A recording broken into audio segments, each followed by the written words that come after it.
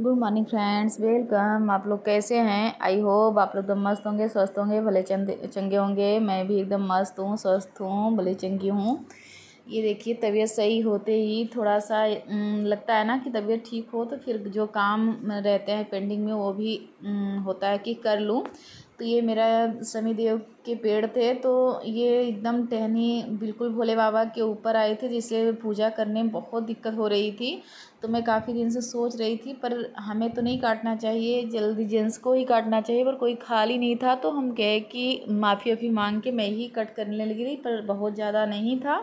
थोड़ा सा जो अड़चन आ रहा था पूजा करने में, बस वही वही टहनी कट की हूँ, और नहीं, और छटैया फिर ये लोग खाली पाएँगे तो करेंगे।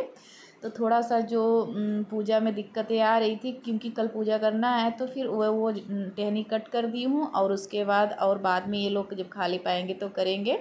तो यहाँ ये कट करके उसके बाद बहुत ज़्यादा घास उगाई हैं, उसे भी साफ़ करना है तो हम कहे कि ज़्यादा तो नहीं थोड़ा थोड़ा ही या वैसे करूँगी साफ़ सफ़ाई और इसलिए यहाँ ये जो टहनी थी कट कर दे रही हूँ, जो बहुत ज़्यादा दिक्कत दे रही बस वही वही कट करूँगी और जो है तो वो बाद में होगा। तो वहाँ वो समी देव की वो कट करके उसके बाद लगी देखिए बहुत ज़्यादा घास उगाई हैं। तो थोड़ा सा मैं सोची जहाँ पूजा करना है, वहाँ साफ़ कर देती हूँ। उसके बाद धीमे धीमे ऐसे ही थोड़ा थोड़ा करके साफ़ करूँगी बाद में। और अभी एक साथ नहीं करूँगी, नहीं तो एक साथ करने से फिर तबीयत ख़राब हो जाएगा। तो फिर ये लगता है ना कि अब ठीक हुआ है, किसी तरह से ठीक हो रहा है तो फिर ज़्यादा अच्छे से ठीक हो जाए तभी सही है।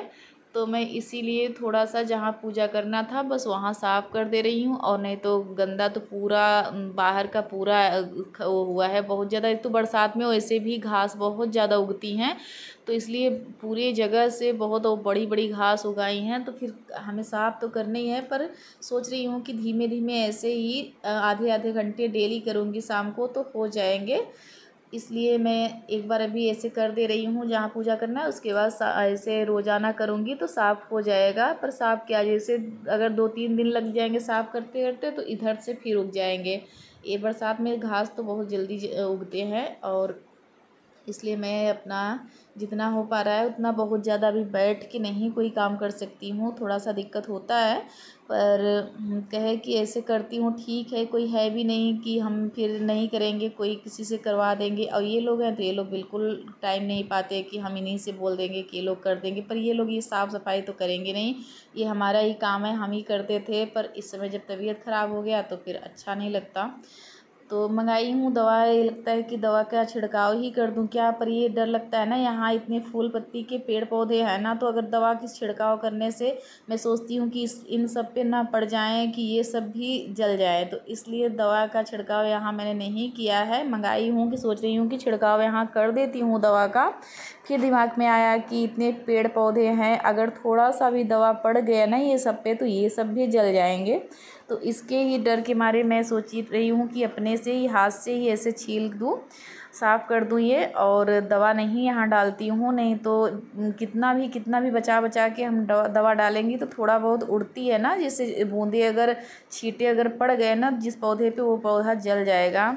तो यहाँ भी जो मैं ये लगाई थी सब्ज़ी तो ये भी पौधे में ग्रोथ बहुत ज़्यादा ग्रोथ तो नहीं कर रहा है, क्योंकि वो इसमें बारिश तो हो नहीं रही है ना तो ग्रोथ बहुत कम चल रहा है, ये देखिए। नहीं तो अब तक ये जो है ना तो ये बहुत अच्छे से होता, कद्दू का पेड़ है और ये हम हम लोग जिसे बोड़े, बोड़ा बोलते हैं, वो है, ये सब है तो फिर बहुत अच्छे से ग्रोथ नहीं कर रहा है, नहीं तो बरसात होती तो बहुत अच्छे से ग्रोथ करता। इस समय बारिश तो हो नहीं रही है, बारिश जब नहीं हो रही है तो फिर बहुत अच्छा नहीं चल रहा है। मैं ही अपने ब्लॉग का करती हूँ, इन अगर पसंद आया हो तो लाइक करिए, सब्सक्राइब करिए, ज़्यादा से ज़्यादा शेयर करिए। Bye bye friends.